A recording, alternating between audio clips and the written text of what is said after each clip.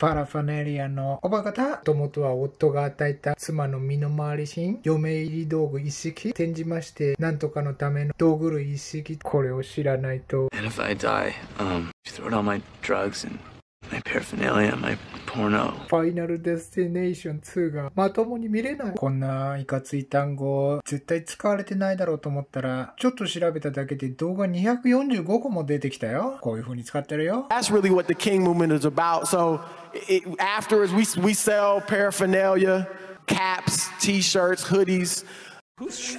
there are plenty of like Jesus paraphernalia things. Like lacks the indefinable mood, the ethos in, that appears in the beliefs and paraphernalia of all religion.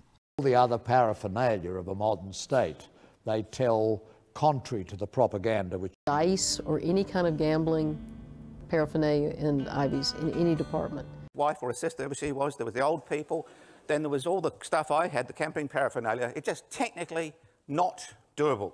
If you take away all of the paraphernalia and all the crap that holds us back. Confederate flags on keychains, on cell phone paraphernalia. パラファナリアのこのファの音は トランスファーとかのと同じ意味で運ぶっていう意味なんだって。いや、それはトランスファーだろ、フェじゃねえだろって言うけど、このファーもフェも運ぶっていう意味で、フェで運ぶっていうのだと、フェロモンとかあと意外なのはクリストファーとか、このクリストファーはキリストを運ぶ人っていう意味だったんだって。もう全然知らなかったこんなの。